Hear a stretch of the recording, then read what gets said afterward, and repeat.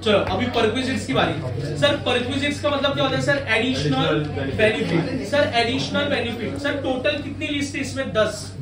कितनी लिस्ट है? पहला परक्विजिट सर पहला परक्विजिट क्या है? मेडिकल एक्सपेंस सर अगर मेडिकल एक्सपेंस पेड और रीइंबर्स बाय एम्प्लॉयर एम्प्लॉयर ने री रीइंबर्स किया तो क्या हो जाएगा सर? एग्ज़ाम कितना? One fifteen thousand is that clear Roshan उंगली साइड में नहीं दिख रहा नहीं है। वो, वो दूसरा कैमरा भी कवर होगा ना इसलिए चलेगा।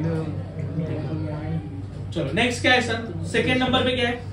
Medical medical treatment provided by employer अगर समझो एम्प्लॉयर का खुद का हॉस्पिटल है एम्प्लॉयर का क्या है सर? खुद का हॉस्पिटल है। या फिर गवर्नमेंट हॉस्पिटल में कर रहा है तो जितना उसने ट्रीटमेंट किया फुल्ली क्या हो जाएगा? बट अगर किसी और की हॉस्पिटल में किया तो कितना? फिफ्टीन थाउज़ेंड क्या हो जाएगा सर एक्सेप्ट बाकी का अमाउंट क्या हो जाएगा? टैक्सेबल नेक्स्ट क्या था? फ्री असेट्स प्रोवाइड अगर लैपटॉप और कंप्यूटर प्रोवाइड किया तो फुल्ली क्या हो जाएगा? बट अगर कार वगैरह प्रोवाइड किया तो अमाउंट दिया। रहेगा। ठीक है? चलो नेक्स्ट क्या दिया? क्या? सर्वेंट सैलरी पेड अगर सर्वेंट का सैलरी कौन पे कर रहा है सर एम्प्लॉयर पे कर रहा है तो क्या हो जाएगा? टैक्सेबल हो जाएगा. नेक्स्ट क्या दिया है? Utility bill sir utility bill अगर किसने पे किया? एम्प्लॉयर ने पे किया. अगर यूटिलिटी एम्प्लॉयर ने पे किया तो सर अगर वो टेलीफोन बिल है तो क्या हो जाएगा? फुल्ली एक्सेप्ट बट अगर सर अदर रहेगा अदर रहेगा मतलब इलेक्ट्रिसिटी बिल सीसी बिल दूसरा कौन सा? ठीक है गैस का बिल अगर पे कर दिया तो ये क्या हो जाएगा sir taxable is that clear next क्या है? Gift by employer sir employer ने अगर गिफ्ट दिया अगर कैश में दिया तो क्या हो जाएगा? अगर काइंड में दिया तो value up to five thousand it's okay तो फाइव थाउज़ेंड रहेगा तो एग्ज़ाम बट फाइव थाउज़ेंड से ज़्यादा रहेगा तो क्या हो जाएगा सर टैक्सेबल समझो किसी का अफेयर चल रहा है एम्प्लॉयर का एम्प्लॉय के साथ क्या चल रहा है सर उसने उसको साड़ी लाके दिया। साड़ी नहीं साड़ी साड़ी लाके दिया। कितने का सर फिफ्टी थाउज़ेंड का। तो पूरा का पूरा क्या हो जाएगा सर किसके हाथ में टैक्सेबल होगा? एम्प्लॉई के हाथ में। एम्प्लॉयर के हाथ में क्यों देगा? एम्प्लॉई के हाथ में हो जाएगा। ठीक है? जिसको साड़ी मिली उसके हाथ में क्या हो जाएगा सर? टैक्सेबल नेक्स्ट क्या दिया है?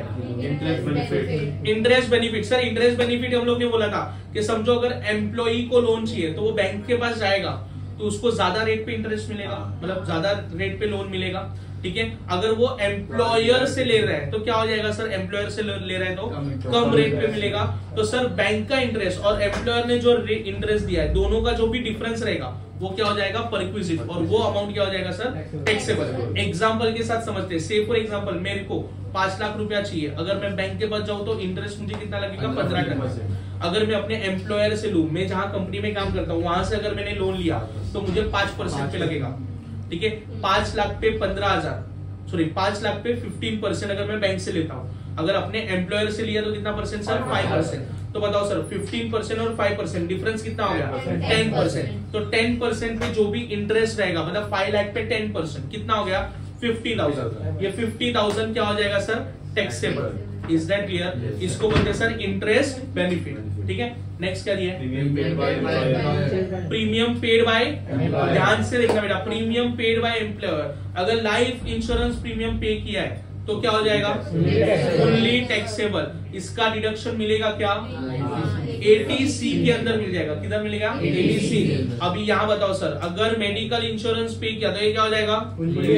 सर ये फुल्ली एग्ज़ाम ही है। तो अगर वो मेडिकल इंश्योरेंस पूरा एग्ज़ाम है तो उसका डिडक्शन भी मिलेगा? नहीं। अगर वो टैक्सेबल होता तो डिडक्शन मिलता पर इसका फुल्ली एग्ज़ाम हो गया। तो ये इसका डिडक्शन अपने को मिलेगा? नहीं। नेक्स्ट क्या है? लीव ट्रैवलिंग एक्सपेंसेस क्या होगा सर? टैक्सेबल अगर एग्ज़ाम रहेगा तो क्वेश्चन में अपने को अमाउंट देगा। नेक्स्ट क्या दिया है?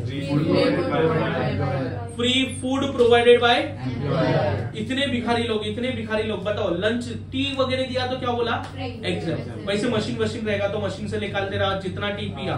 उतना क्या हो जाएगा?